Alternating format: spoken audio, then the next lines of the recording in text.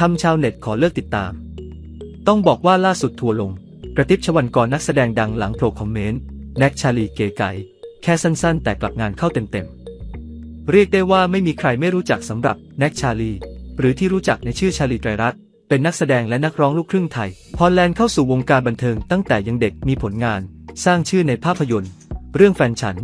ที่ทำรายได้สูงสุด 140 ล้านบาท ในปีพุทธศักราช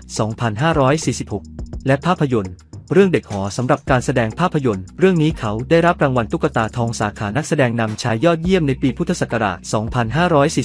2549 และหลายคนคงทราบกันดีว่าแน็กชาลี นั้นเพิ่งประกาศเปิดใจคบหาสารความสัมพันธ์กับยูทูบเบอร์สาวคนดัง เก๋ไก๋ได้เพียงไม่นานและล่าสุดงานนี้เจ้าตัวนั้น ก็ได้โพสต์คลิปวิดีโอเล่นเปียโนอวยพรวันเกิดแฟนสาว พร้อมระบุแคปชั่นว่า ขอให้เก๋มีความสุขมากๆครับ ขอให้ทุกๆ วันมีแต่สิ่งดีๆ เจอแต่สิ่งดีๆ ขอให้มีแต่คนรักเยอะๆ แบบนี้ตลอดไป แต่งานนี้ก็ทำเอาดราม่าจนได้เมื่อทัวร์ลง กระติ๊บชวัลกรนักแสดงดังหลังโผล่คอมเมนต์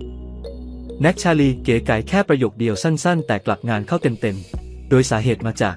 สาวกระติ๊บชวัลกรได้เข้ามาคอมเมนต์โพสต์ดังกล่าว พร้อมระบุข้อความว่า ดูดีกว่าอีกคู่เยอะ HBDKA ทำคนแหกกดไลค์ไปเกือบหมื่นคน หลังจากนั้นเหล่าบรรดาชาวเน็ตต่างก็เข้ามาคอมเมนต์เดือดทัวลง กระติบว่าชมคู่นี้แต่ควอีกคู่มันดีรอค่าโตแล้ว ควรมีวุฒิภาวะให้มากคอมเมนต์แขวะให้คนอื่นตามไม่น่ารัก การที่จะชมคนอื่น ไม่เห็นต้องแซกคนอื่น เลยดูไม่มีวุฒิภาวะเลยยอค่ะ มารยาทขั้นพื้นฐานบ้งมากเลยนะคะคุณกระติบนี่ใครง่าไปใช้คู่เขาหิวแสง หรือเขารู้จักเขารอไปว่าเขาเราติดตามผลงานคุณแต่ตอนนี้คงเลิกติดตามแล้ว และรู้เลยนิสัยแบบนี้เขาไม่รู้จักคุณ ด้วยช้ำจะโยนประเด็นเพื่อ ผมแฟนคลับชาลีนะแต่เม้นแบบนี้มันไม่ได้ดูดีเลยครับแฟนคลับชาลี